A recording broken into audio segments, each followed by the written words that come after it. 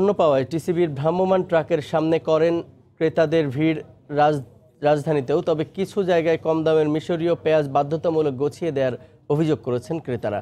চালের দাম বেড়ে যাওয়ায় টিসিবির ট্রাকে চাল বিক্রিরও দাবি জানান অনেকে।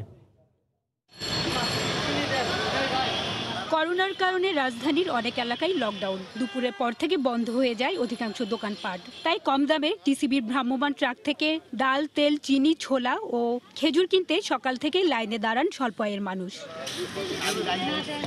প্রেস ক্লাব এলাকায় টিসিবির ভ্রাম্যমাণ ট্রাকে প্রয়োজন না থাকলেও মিশরীয় পেঁয়াজ কিনতে বাধ্য করায় ক্ষোভ প্রকাশ করেছেন ক্রেতারা। যদিও অভিযোগ অস্বীকার করেছেন ডিলার। পেঁয়াজটা নির্ধারণ করে দিচ্ছে মানে বাধ্যতামূলক করে দিচ্ছে নেওয়ার জন্য। কিন্তু আমার তো পেঁয়াজ প্রয়োজন না দুই কেজি ডাল প্রয়োজন কিন্তু তারা দুই কেজি ডাল দিচ্ছে না। না না এক কেজি পেঁয়াজ কেউ নেয় কেউ নেয় না এরকম। বাধ্যতামূলকের তিনশো কেজি পেঁয়াজ যেটা শেষ হবে।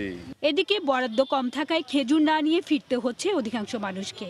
বাজারে আড়াইশো টাকার কমে কোনো খেজুর না মেলায় খেজুরের চাহিদা বেশি থাকলেও ট্রাক প্রতি বরাদ্দ মাত্র একশো কেজি। খেজুরের সাপ্লাই কম আনে তো কম মনে হয়। দেখা গেছে সবাই তো পায় না। এখন আমার ছোলা ডাল আর কানে তেলের দরকার আর অন্য কিছু দরকার না। তাহলে সব বাধ্যতামূলক করলে হবে না। এদিকে বাজারে সব ধরনের চালের দাম বেড়ে যাওয়ায় টিসিবি ট্রাকে বা ওএমএস কর্মসূচির মাধ্যমে চাল বিক্রির উদ্যোগ নেয়ার আহ্বান জানিয়েছেন ক্রেতারা।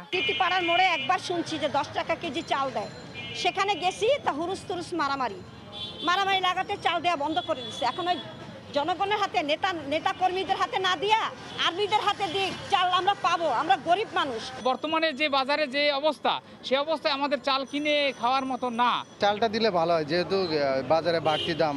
বিশে মে পর্যন্ত পণ্য বিক্রির কথা থাকলেও চাহিদা বিবেচনায় প্রয়োজনে ঈদের পরেও খোলা বাজারে পণ্য বিক্রির কার্যক্রম অব্যাহত থাকবে বলে জানায় সংস্থাটি। হাজারের শিউলি সময় সংবাদ ঢাকা।